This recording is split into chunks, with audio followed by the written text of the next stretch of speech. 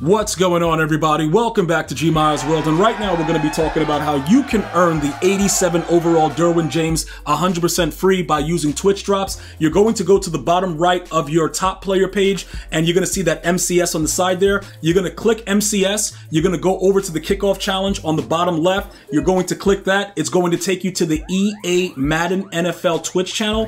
From there, you're going to go to the About section. When you go to the About section, you're going to go to Twitch drops right here. Once you get to the Twitch drops, you're going to log into your Twitch account. Whatever account that you usually watch Madden NFL on, you're going to log into that Twitch account. It's going to automatically link it. And then you're going to watch for two and a half hours today. And you're going to get that free Derwin James. I want to thank everybody for watching. Good luck. And make sure that it's tracking while you're watching. If you don't know how to do that, hit me up. I'll let you guys know. See you guys and girls next time.